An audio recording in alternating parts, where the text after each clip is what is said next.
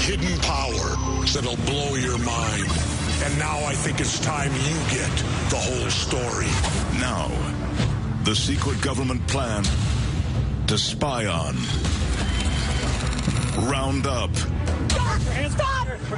and imprison innocent Americans. Anybody that seeks with people like you and me.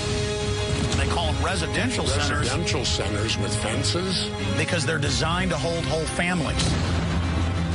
And pull the trigger with a demic. There's this mass literal megadeath. It's not a fantasy.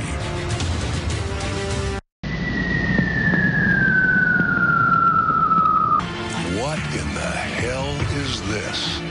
Coffin. Built for you and me.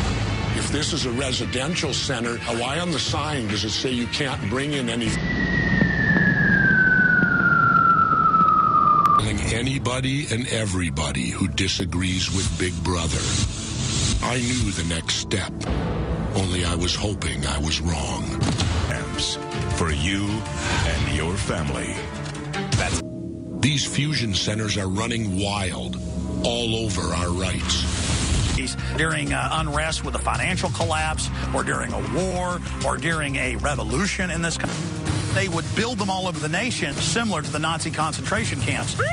Martial law and round up anyone deemed a national security threat. It's documented. It's called Rex 84. This is just one active prison. They've got giant auxiliaries. They've got other nearby prisons. Al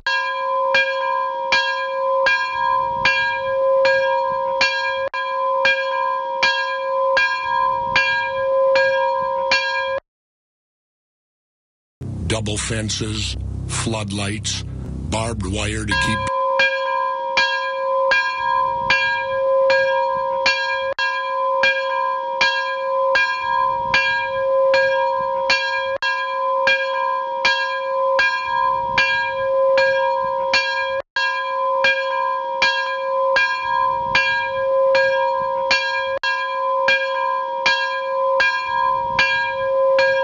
for the so-called residential center. It looks to me, it looks very much like a prison. Well, we're charged with their safety as well, so. Who's after them? Is the government planning germ warfare against its own population?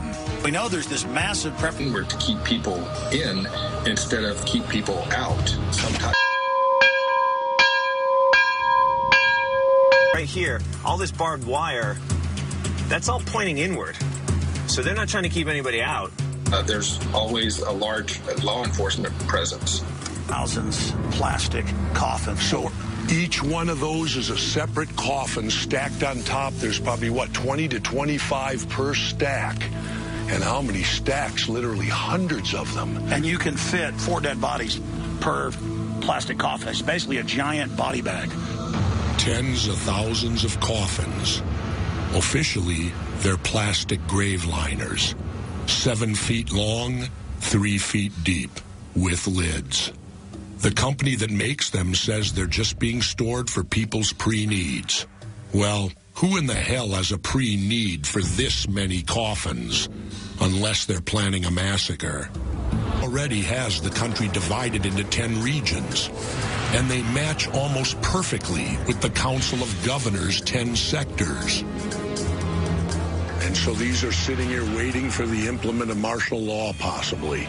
And remember, this is right outside Atlanta, Georgia, where the Centers for Disease Control is based. Alex Jones was about to put away anybody who gets in the way of their power grab. The feds would trigger a nationwide outbreak of deadly disease. Plagues and literal megadeath.